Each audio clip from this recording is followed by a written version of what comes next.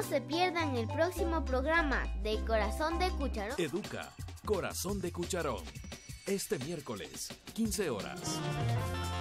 Ecuador TV, siete años, creciendo juntos.